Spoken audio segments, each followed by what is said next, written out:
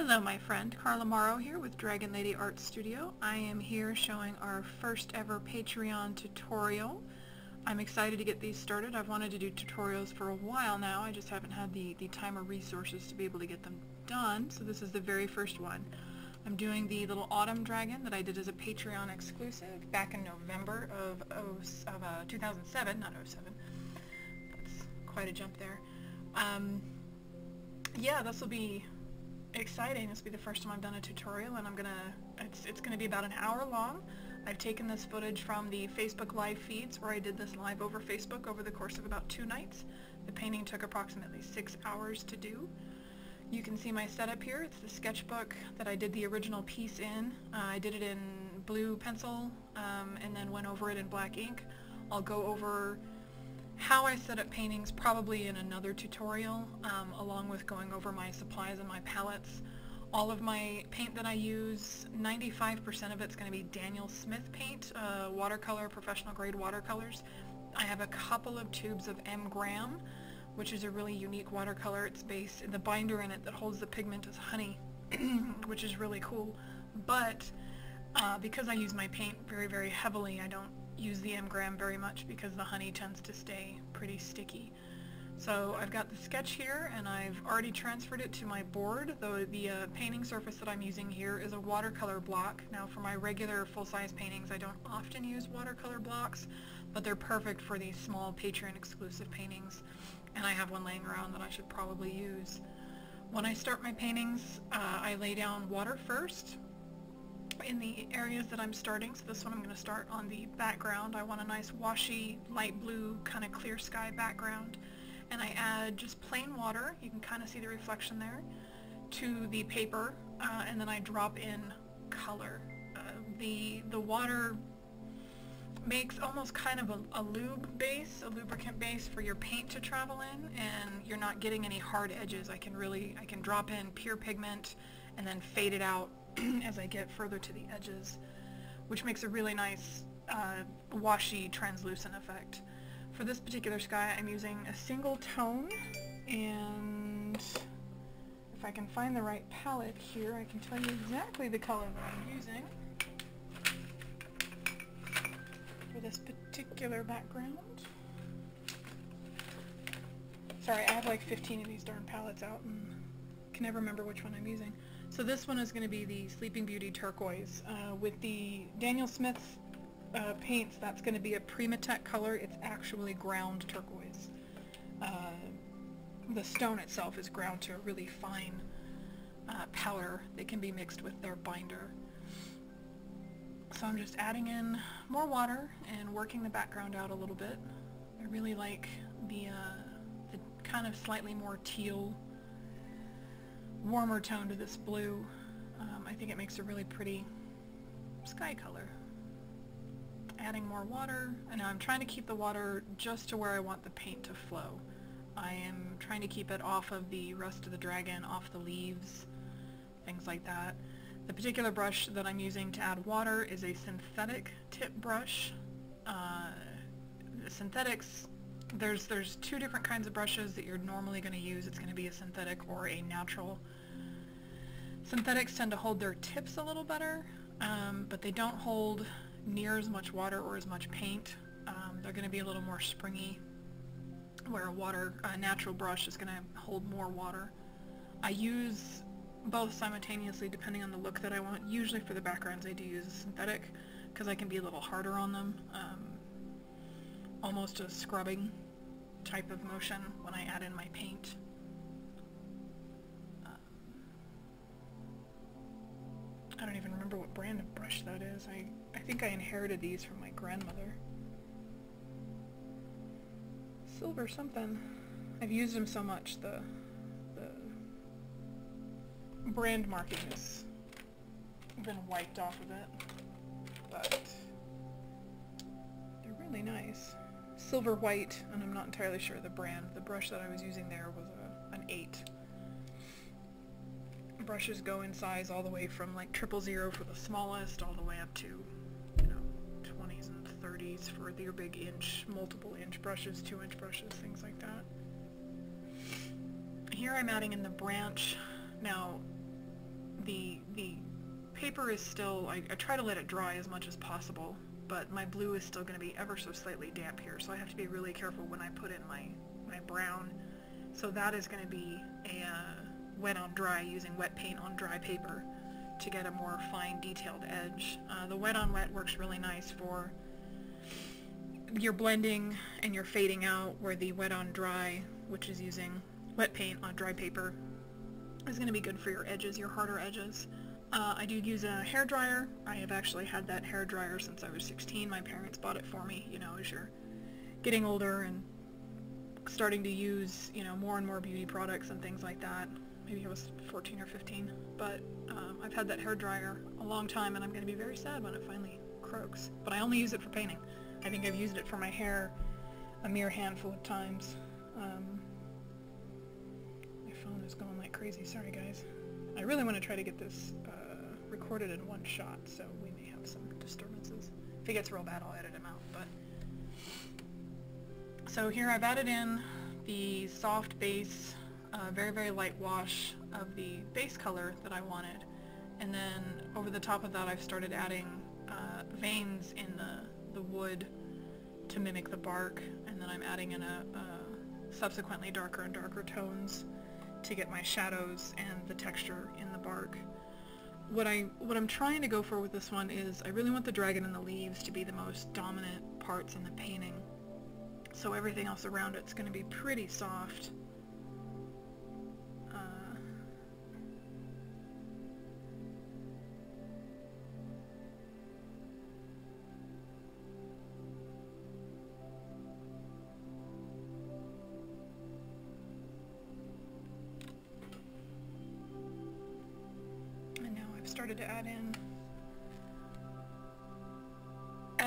Water for the dragon. Um, this was an autumn dragon, so I'm going to be using a lot of yellows, uh, reds, and oranges. A lot of those warm colors.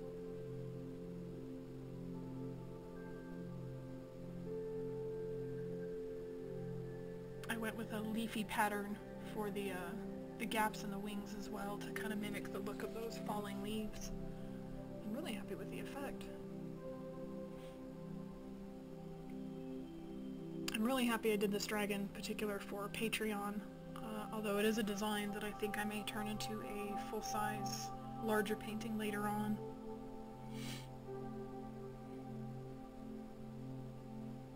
The Patreon patri paintings, the blah, blah, let's try that again, the Patreon exclusive paintings have been a lot of fun. I'll be working on my third one this month, and it's just for patrons. So they won't be anywhere else. I'm thinking about putting them together in a coloring book maybe at the end of the year. Um, I know you can, I'm, I'm doing the downloadable coloring pages for my $5 and up tier, but it might be nice to have them as a physical coloring book that, you know, you guys could either download or maybe carry a handful of them to order. It's, it's an idea that I'm playing around with, but I have a lot of ideas for the oncoming year, so we'll see what all I get done.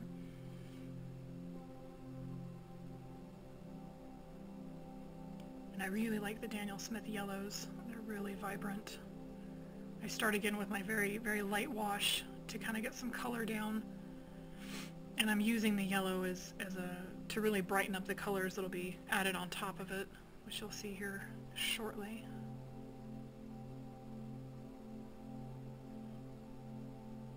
I tend to use homogeneous colors or very similar colors to what I'm doing over the top for my under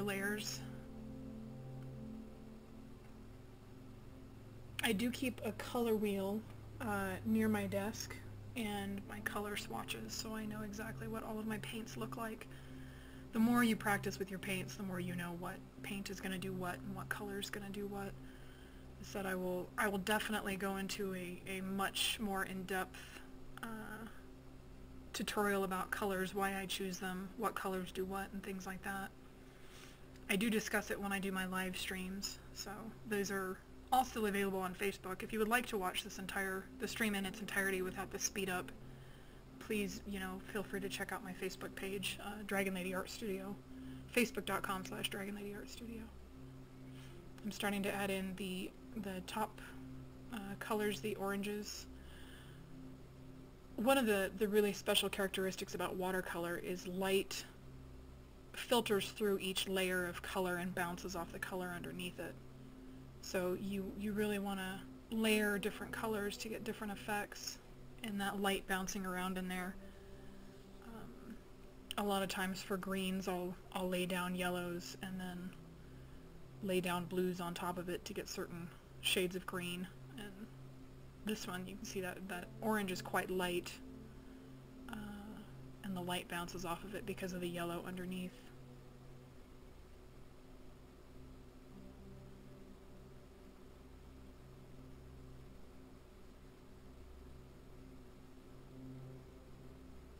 Orange and blue are opposite colors on the color wheel, so I went with, that's why the I decided to go with the blue that I went with. Um, they're a little closer, it is a warmer blue. It has warmer undertones, kind of yellowy undertones, but I'm quite happy with how it came out. Here's my hair dryer again.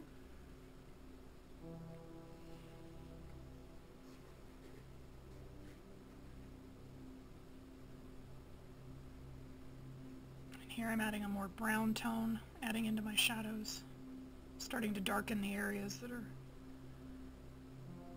that need to be darkened. Any area you have that's away from light will be dark. I know that's kind of a Captain Obvious comment, but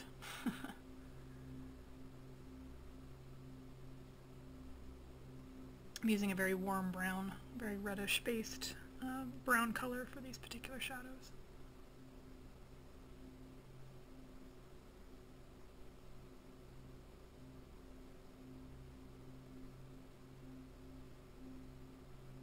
Really having a lot of fun with this little guy. I love, I love the whole painting process. I love adding color. I love bringing something to life and seeing how it develops. Uh, I'm not, not one of those artists that can just, you know, plop down and paint completely organically. I have to have the, the image completely finished in my head before I can ever hit pencil to paper, and, and there has to be a solid plan of the direction that I'm going into. Not knocking those artists by any stretch of the imagination. I, I'm jealous of the ability to be able to sit down and just go.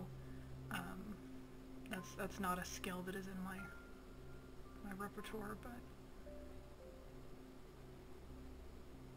I like seeing the piece build up uh, layer upon layer.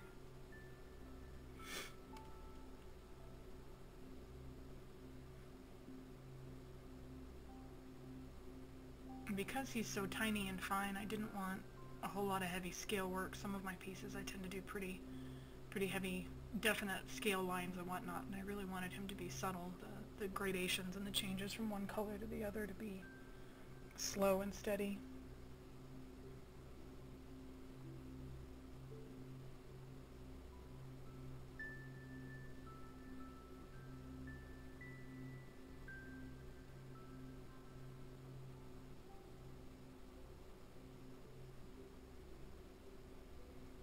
Here I'm going darker with a darker brown.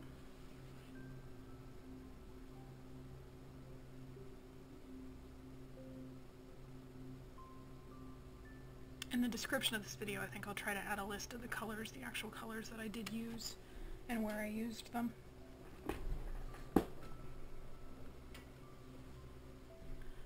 I am a really horrible paint hoarder so anytime I have a, a few extra bucks in my account I usually buy paint toying with the idea of doing a Patreon color of the month where I'll pick a color and do a painting all with that one color or review the color or talk about the color or something.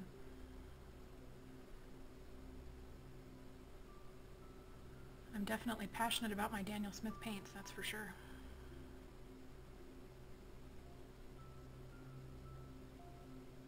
There is there is a huge difference between studio grade and professional grade, and, and a lot of it is preference until you get, you know, on the further ends of the spectrum. I mean, a, a Daniel Smith paint compared to a like a Rose Art or a Crayola paint is going to be vastly different from like a Daniel Smith paint and a Winsor Newton paint. Winsor Newton are, are a professional level as well.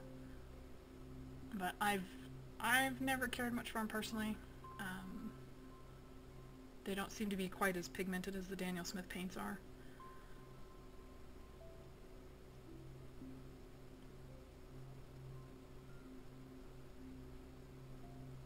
That's going to be your difference between professional level paint and um, like student grade or hobby grade paint is the amount of pigment and the types of pigment or binders that they use. Crayola is going to be a lot of filler, um, or the, the student grade paints in general are going to be a lot of filler, where paints like M. Graham, Daniel Smith, and uh, Winsor Newton are going to be have much more pigment. The pigment to binder ratio is, is much much higher. Um, I originally started using Koi brand paints, and those are paints that my mother-in-law introduced me to. They were fabulous. I loved them for a very long time. They're smoother and very creamy. Um, I don't remember when or how or why I made the jump to Daniel Smith. I think I was researching light fastness and discovered that the Koi the Koi brand watercolor is as nice as they were and as much as I enjoyed them still didn't have the ultra light fastness and there's there's things that Daniel Smith paints do uh, the granulating colors which means that your your paint pigment molecules actually filter down into the paper and you get a really cool kind of a sand type texture which I, I love a lot and use a lot in my work. Uh, Koi didn't have that effect. And admittedly, I'm completely obsessed with the PrimaTek line of Daniel Smith paint, which is the natural pigment, or the natural uh, stone paints. They've got and I've got Amethyst, the Sleeping Beauty Turquoise. I've got a couple of them. They're more expensive than their other paints, so I, I buy them pretty rarely, but I have a few more picked out that I want to get in the next year if things go well.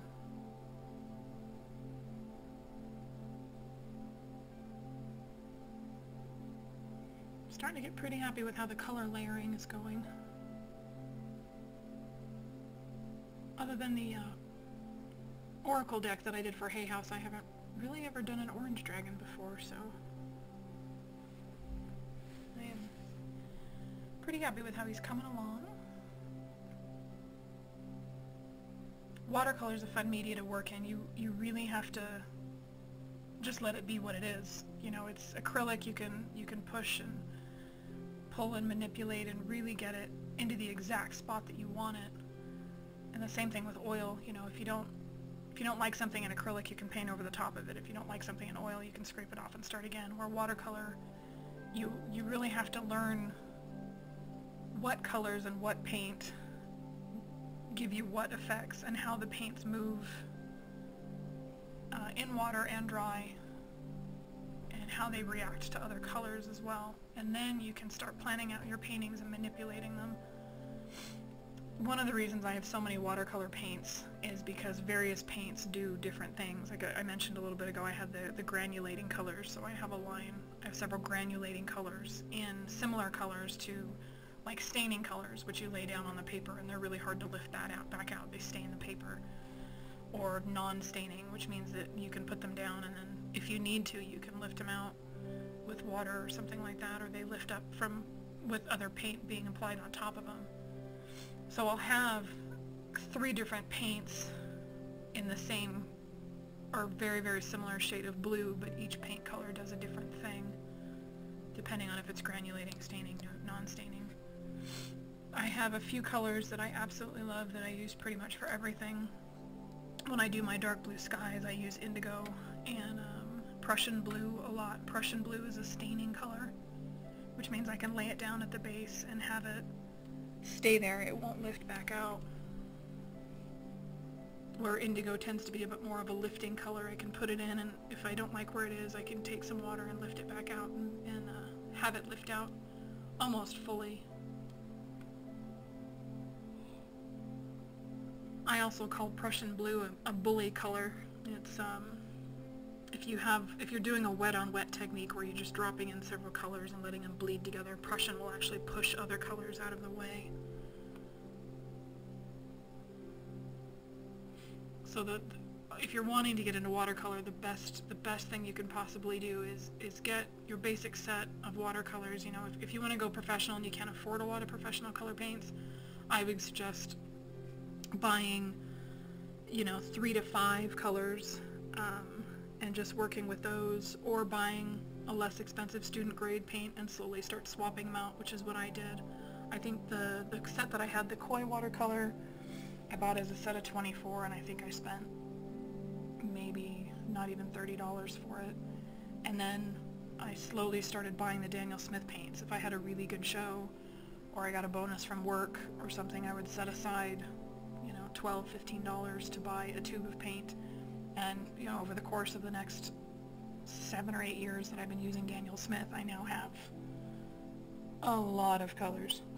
so I'll cover that in a different tutorial, but I do have quite a substantial collection of, of Daniel Smith colors at this point. But it was a slow turnover. Um, and anytime you get a new color, get some scrap paper, sit down, and just play with it. Don't don't do anything for a painting. Don't do anything that you're afraid you're going to mess up.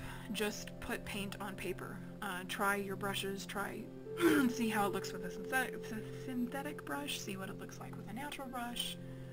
Um, draw, you know, paint lines, paint squiggles, paint blocks of color, lay down water and drop it in you know, other colors that you use often, see how it reacts um, wet on wet, either dropping in, putting down some water, putting in the color that you like, and then adding the new color and seeing how it blends and mixes. Basically just test out your paints and see if it does what you want and uh, and how you can manipulate that. And as you start to learn these things, you'll start to know, okay, this color, I want this effect, and I can apply this color and I will get that effect and then you have less goof ups. Um, I know watercolor can be a very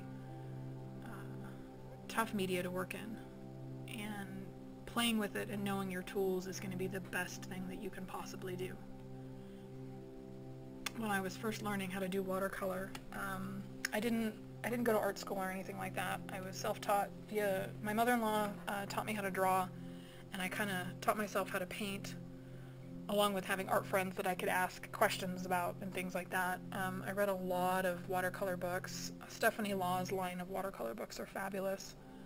On YouTube videos, thank goodness for the internet, because, you know, 30 years ago it would have been a lot harder to do this, but I watched a lot of YouTube videos, and I believe it was Cheap Joe's Art Supplies has a line of art instruction videos, and there was an artist on there who was, he was an old football player. Um, he'd been retired for a long time, and he did watercolor painting now. And he was hilarious and entertaining as hell. I mean, he was so funny and very dry humor. But he was talking about, you know, spend the money and get yourself a really expensive, like 300 pound single sheet of watercolor paper and use that to practice on. And he made a comment of you can actually throw it in the washing machine and then hang it back out to dry. So when you're when you're done practicing, you toss that bad boy in the washing machine, put it on a gentle cycle, and then you know hang it outside to dry, and and then go again. And and it was it was 20 minutes of you know don't don't paint anything you're afraid to mess up. Just paint lines, just paint squiggles, just paint blocks of color. And it was such a big aha moment for me of I, I didn't have to paint a masterpiece. And it's, I don't know if it's the society we live in now or seeing other artists create masterpieces, and it's, it's less an issue now with things like Instagram and whatnot, where you can see people's paintings in progress and practice sheets and warm-ups and things like that, but 10 years ago, you know, 15 years ago, you didn't really have that ability, so the thought of just playing uh, in watercolor and not painting for a final product was so alien to me that watching this old football player, football player paint, you know, he's in his 60s or was in his 60s at the time, and hear him talk about just don't paint anything special and learn your tools first was uh, was definitely a mind-blowing aha moment and one that anytime somebody asks me about how to get started in watercolor, I always relay that information of don't paint something you're afraid to mess up because you're afraid to mess it up. You know, you don't want to touch it, you don't want to mess around, you just you just want to get it right. And it's hard when you're working with expensive supplies to mess up. Uh, I know, I've, I've thrown away whole paintings before because they weren't the colors that I wanted. And then to turn around and realize, you know, how much paint. And really, honestly, with watercolor, it's, it's not a lot because of how much water you use. Um, but still, it's, it's uh, cringeworthy. So here I'm doing the wet on wet technique, and I laid down my yellow, and then I dropped in red on the other side, and I'm blending them back out. I use that base color of a lighter yellow, and then I want a, a fade effect from one color to the other. And I really like the red that I chose. Again, I have palettes everywhere, so it'll take me a minute to dig around and find what color I used, but it was a red.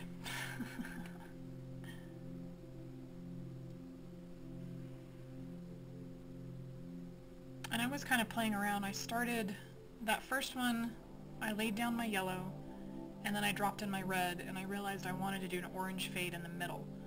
So I ended up tossing a uh, orange in between those two colors, and I wasn't quite happy with the way the fade looked. So for the second segment there, I put in the yellow, and then I did the orange, and then I added in the red. And that's something that I would normally have done, and for some reason just didn't start that way. But uh, there, there is still a little trial and error in my paintings. It's not mechanically wrote whenever I do a painting. I do, I do still, you know, try and figure things out and play as I go along, see how, what color affects what and things like that, but for the most part I do have them planned out pretty well before I start.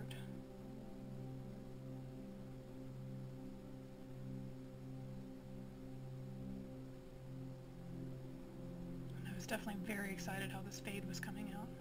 I, uh, I'm pretty darn happy with it. I don't do enough fades like that, and it's something that I think I'll bring in more in the next year.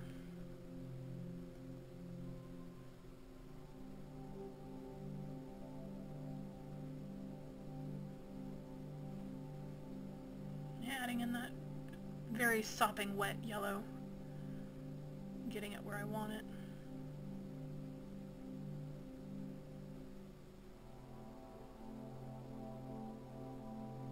There's my orange.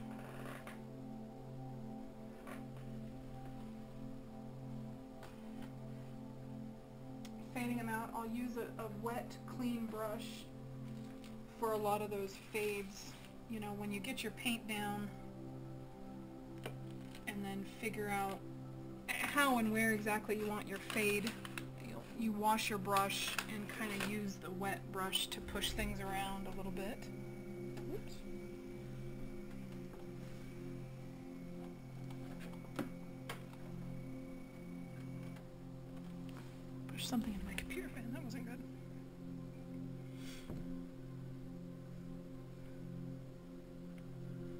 Yellow that I used is a bismuth and then the orange that I was layering in is a gamboge or a new gamboge. Um, I have both. And then finally the red um, was a pretty bright red and it was a Pyrrol Crimson, which I believe is an M. Graham color. The other two are Daniel Smith.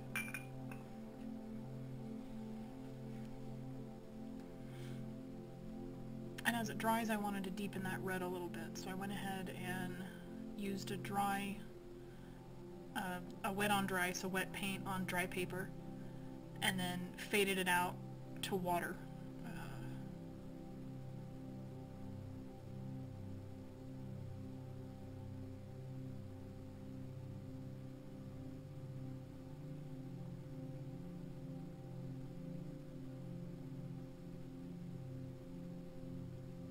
unless I'm working wet on wet, I really try hard to make sure my paper is as dry as possible. Um, otherwise you'll get some bleed backs and effects that you're not really wanting.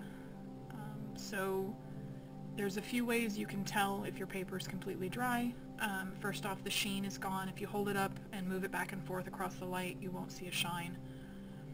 Second is with a clean finger, uh, feel the temperature of your paper. If your paper is still cool to the touch, that means that it's still damp down into the core of your paper and you want to let that dry. Um, I use, like I said, the hair dryer. And my hair dryer, and I think they all come with this now, but you know, back in the 90s, they didn't all have cool settings.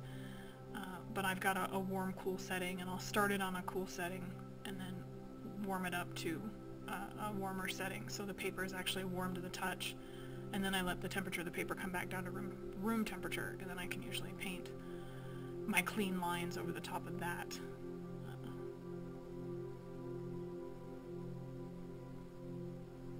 thinking about that hair dryer, I can't believe that's, you know, I think I got it in 96 or 95. it has been my faithful companion for more than 20 years. The paintings it has seen, staggering. Seriously, you don't need a fancy hair dryer, just go out and get the cheapest one you can, you know, from any of the dollar stores or wherever.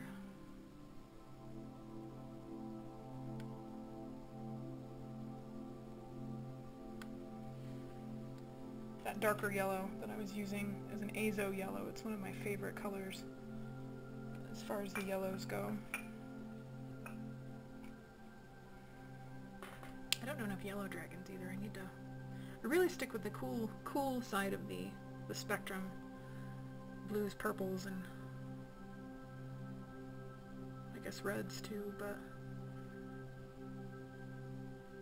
I have plans for other other dragons. Well, I mean, always have plans for other dragons, but I definitely have a lot of plans for different pieces this year.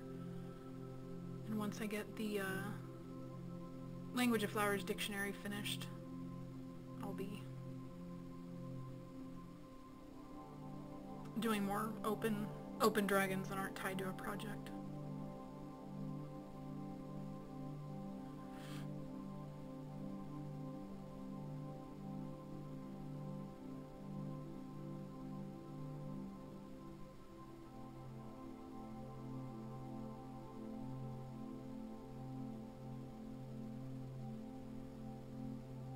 The brush that I'm using here is a natural fiber brush and it holds a lot of paint. So I was really wanting to make sure that I could get all of my color in in one swath as far as these sections go. Um, because if it dries out and then you try to add more paint, you'll start getting the lines and it's really hard to get the blending done and faded back out. So I wanted a brush that would hold a lot of paint and so I'm using the natural brushes here. I believe that actually is a Kolinsky hairbrush which for years you couldn't get because of the um, laws regarding fur trading, which is really interesting. Yeah, they're Princeton Elite uh, Kolinsky brushes. Some of my favorite brushes ever. One of the various websites, I order from several of them, had a huge sale on Kolinsky brushes and I jumped all over it. They're expensive. Um, red squirrel hair I believe, is is really good too. Um, if you can, definitely get a couple of natural hair brushes to keep in your collection um, for very specific uses. Uses.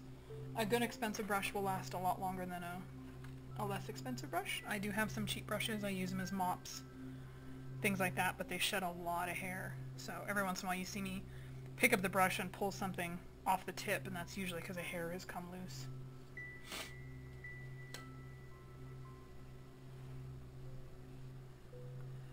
Or more common, there's a dog hair stuck in it, which happens a lot too.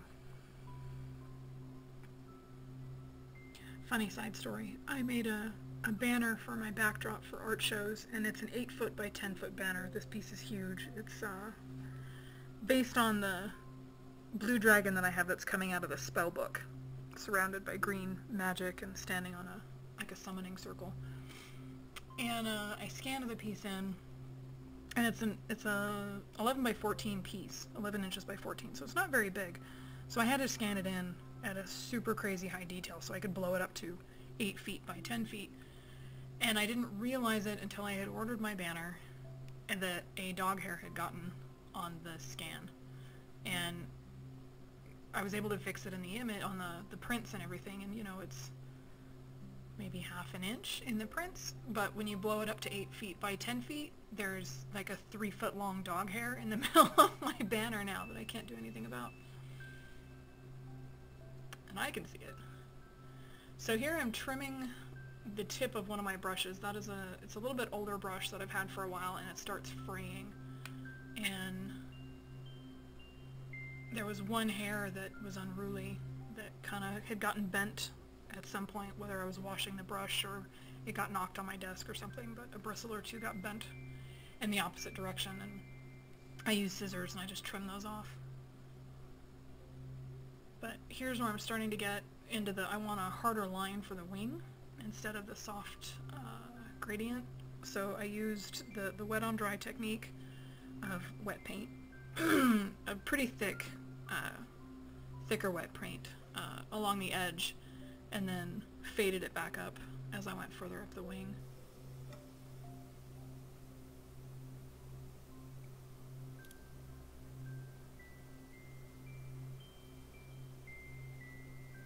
Continuing to add those details along the wings and cleaning up my lines a little bit on the dragon itself.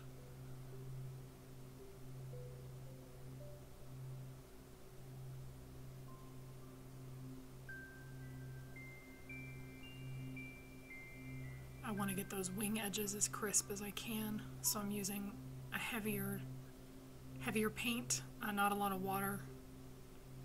This is going to be pretty close to right out of the tube, just for the edges, and then I'll fade it up uh, to get a little bit of a gradient in along the back edge where it meets the wing.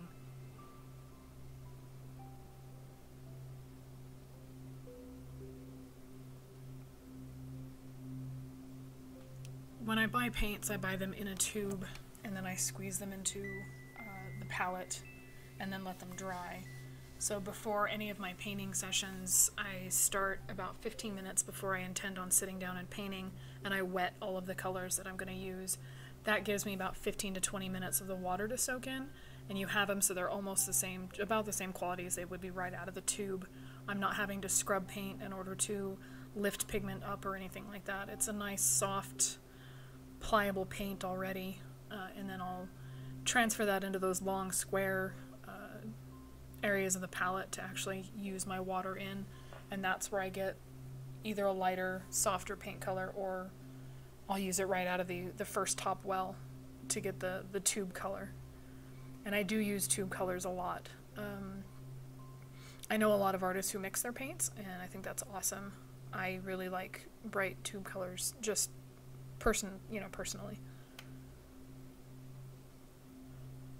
Though I do mix colors quite a bit, uh, both either in a palette or on the paper. There's several different ways of mixing your colors. There's the glazing technique of glazing one color on top of another. I mentioned earlier about the light passing through subsequent layers of watercolor and, and bouncing around so you get, you know, if you put down a yellow base with a blue over the top, you'll get a nice green. So that's one way of doing it is layering it on the paper. The other another way is on a palette where you have a clean palette with a mixing tray and you actually mix your two colors until you get the shade that you want. Or you can mix them on the paper. So I will lay down water and I do this for skies a lot where I lay down water and I'll lay down a purple color and a blue color and kind of push them around until they mix and swirl together.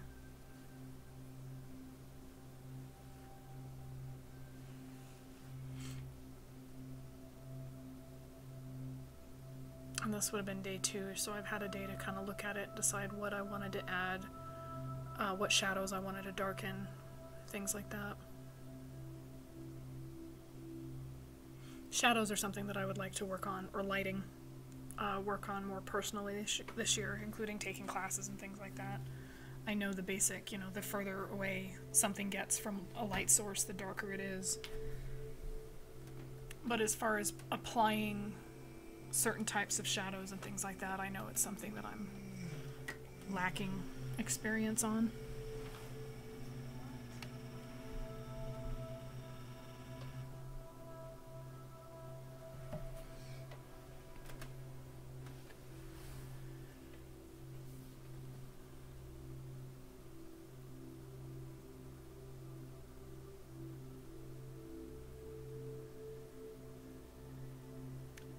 Shadow slowly. All in all, in the body, um, one, two, three, I believe I used four or five different paint shades on the body itself in order to get the look that I was wanting.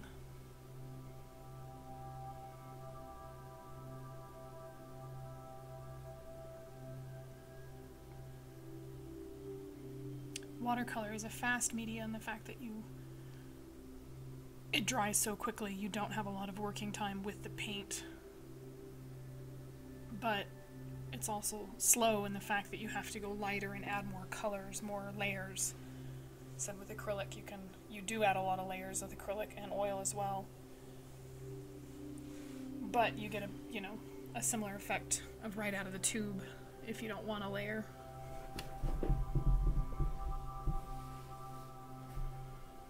Kicked around the idea several times over the years of going back to acrylic. I started in acrylics uh, and then moved to watercolor after working in ink for a while.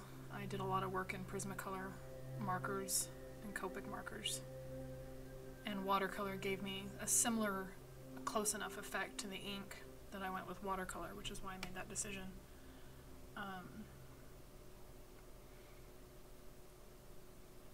but I've kicked around the idea of moving back into acrylic just for the drying factor and the mess up factor of being able to paint over something if it you know didn't make me happy or change colors and not lose the whole piece but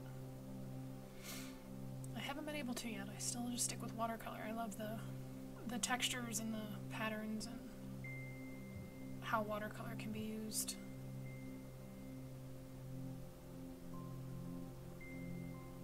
did buy acrylics last year. They're sitting in a drawer.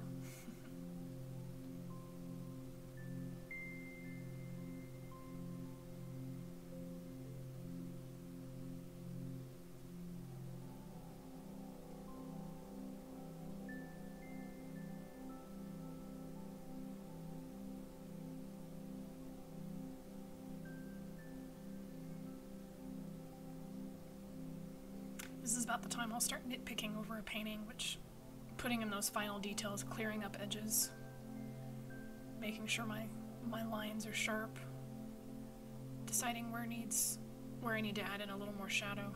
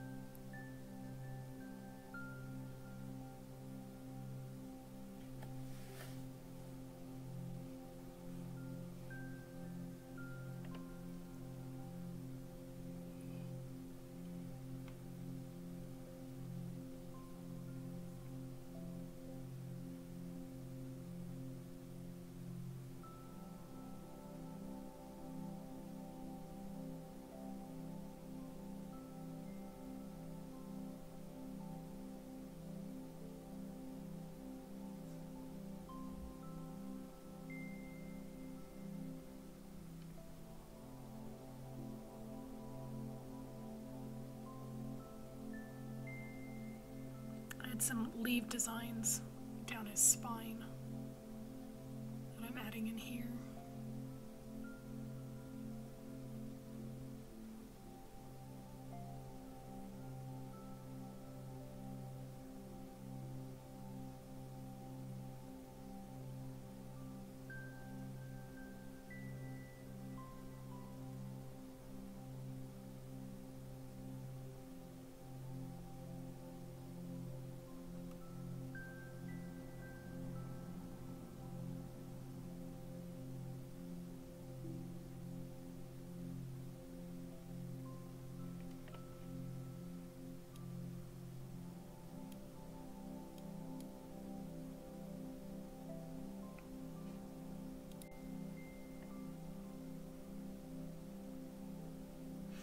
note about the paper that I'm working on.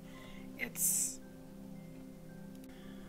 Arches watercolor, uh, and it's a cold press, 140 pound. It is in a block, which means that it's sheets of paper all stacked together and then coated along the edges with a, like a rubber. Um, and it keeps it stretched. Watercolor, as you get it wet, the paper will tend to buckle. So I either tape it down or I'm using these blocks um, for the Patreon stuff, the smaller paintings, which I like, or I do watercolor paper mounted on a board, which I will do another uh, tutorial on how I do that at a later date. The size is 12 by 16, and I like it because I can get two paintings out of two smaller paintings out of each page. They're kind of divided in half. You can see that second half there I haven't used yet. I end up using it on the Christmas dragon the following month, which I will probably do another tutorial on as well. If this goes over well. Hopefully you guys are enjoying it, and it's not completely boring. Nothing like watching paint dry, right? I'm so punny. So here I'm really adding in the leaves.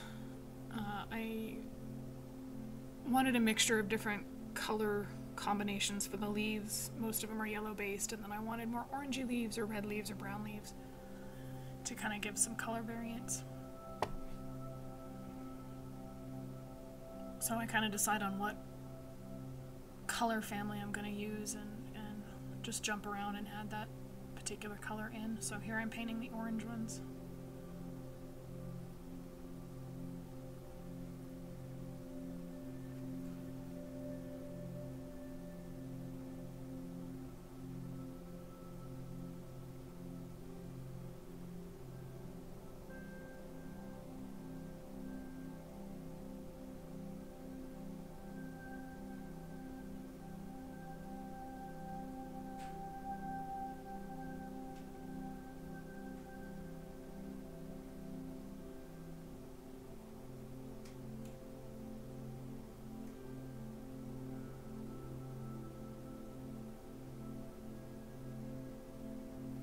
This base color of orange, I'm going fairly heavy with the paint color. The water I'm using, the water paint mix in the, the long rectangular wells, is probably about the consistency of milk as far as water to paint ratio goes. I don't often go more watery than that unless I'm doing a really, really light wash. That's something, again, you'll play around with. Different colors will will need different thicknesses or heaviness of your water mixture.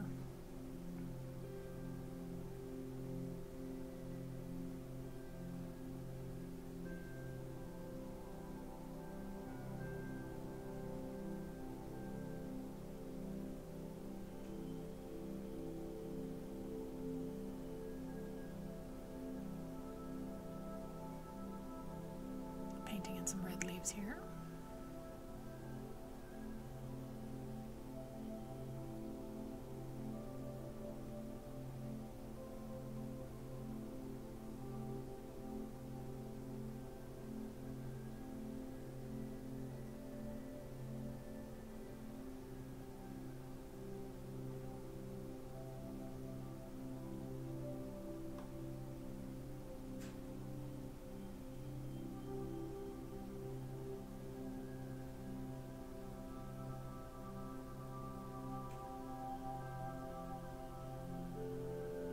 Drawing leaves is always is something that I've always found difficult for some odd reason. I have a really hard time with the proportions and the shapes of leaves.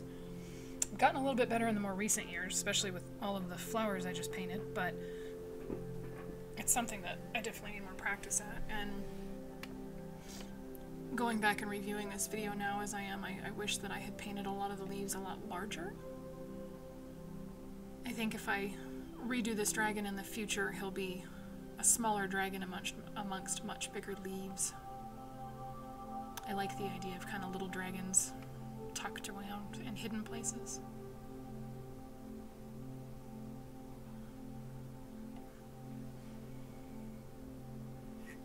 That yellow and orange color palette, uh, going from left to right, is Pyrrol Orange, Gamboge, Nickel Titanium Yellow, Azo Yellow, and Bismuth. I have two yellow palettes, but that's the one that I use mostly.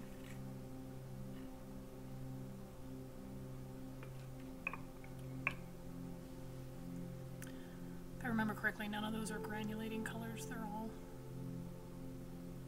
mildly staining or not staining at all, which makes them good for upper layers.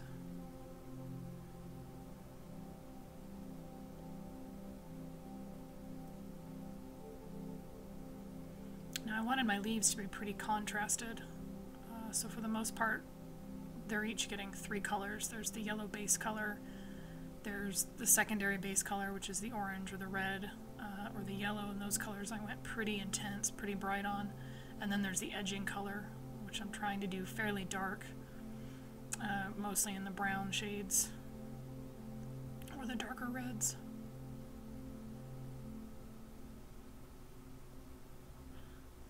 This is a fairly simple piece with not a lot of scale work or extreme details, so I wanted that I wanted the leaves to pop out a bit more by using a high contrast uh, in the coloration of them.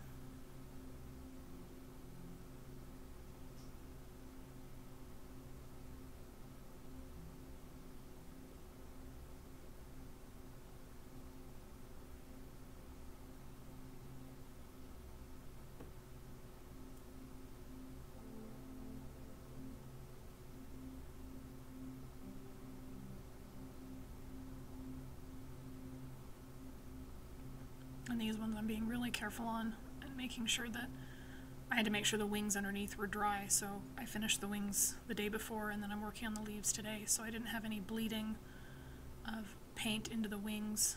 I wanted that edge to be really nice and crisp.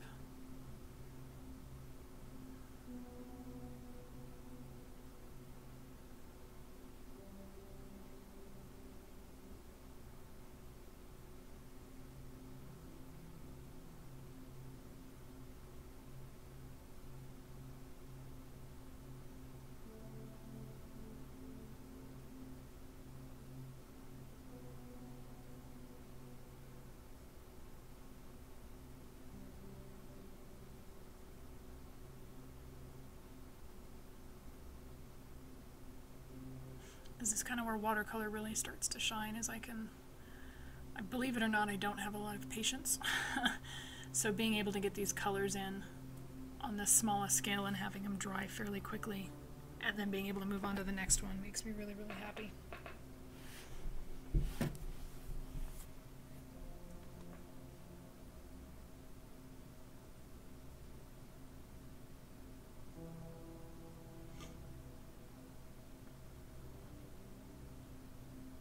There's another dog hair in my brush. If you're not careful with that, you'll leave a double a double trail because that one hair will will leak paint onto the paper and it wouldn't be the first time that's happened to me.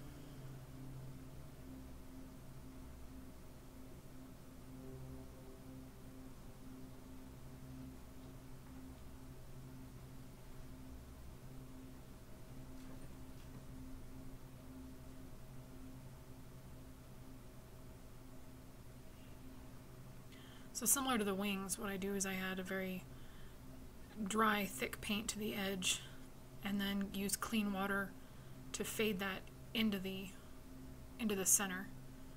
And then when it's still wet, I take my lighter color and I dollop it in the middle, which helps push the outer paint back out a little bit and you still get that gradient, that ombre effect.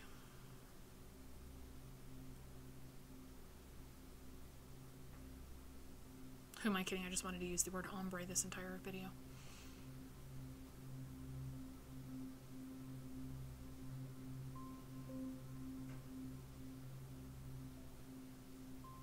I'm really excited that I did this piece. Autumn is my favorite time of year.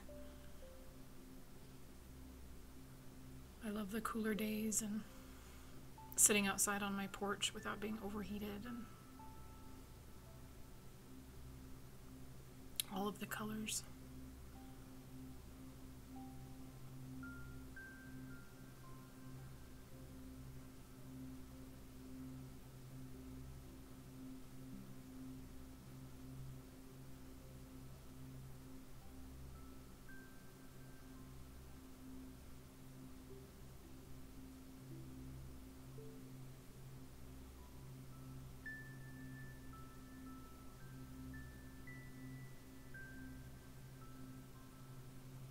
Think I've used this fade out technique on more on this piece than I have my last three paintings.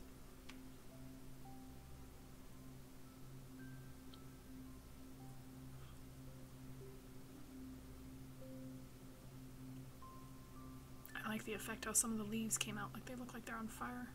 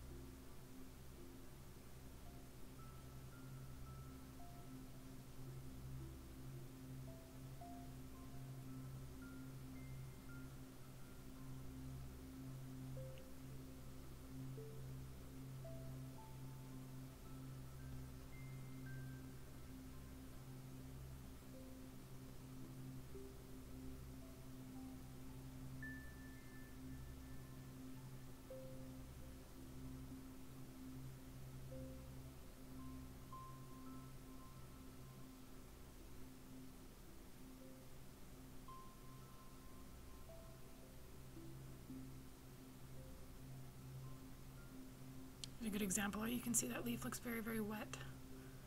The way the reflection of the uh, light is off the water.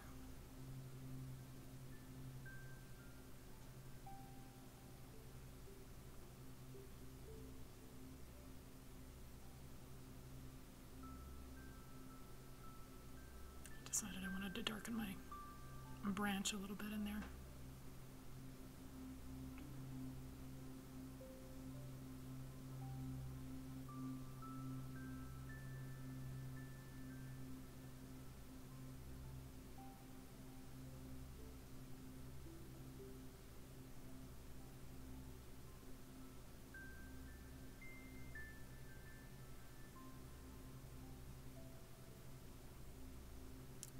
Up some of my lines as well as I use that brown.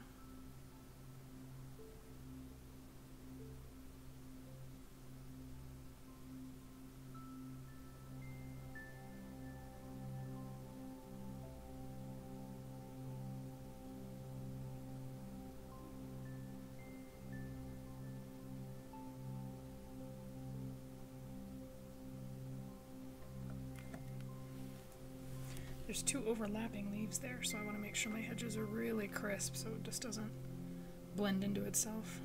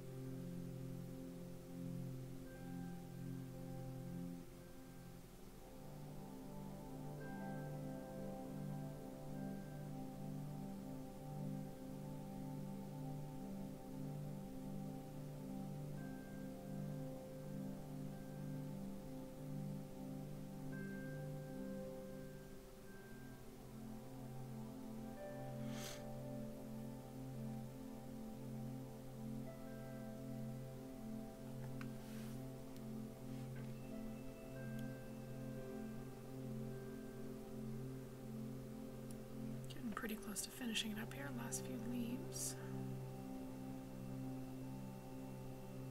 If you guys want to practice this wet on wet or fading technique, I would suggest doing like squares, blocks of color, and using your fade from one end of the block to the other.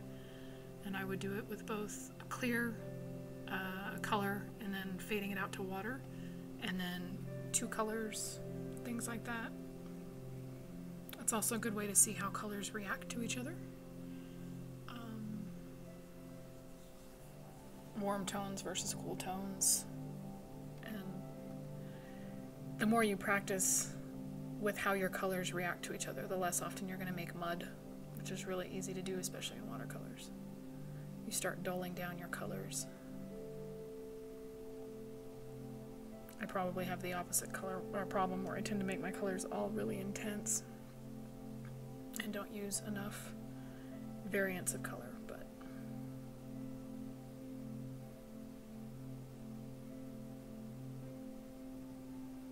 do the last few cleanup. I'm adding in some veins to the leaf texture along his spine, and I'll be adding them into the leaves as well.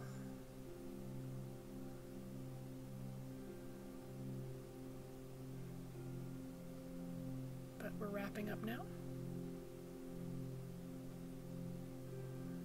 I hope you enjoyed this video and this mild tutorial. Uh, I don't. I hope I went into some depth and you guys learned something. This is the first tutorial I've ever done, so I'll definitely try to clean it up for later videos.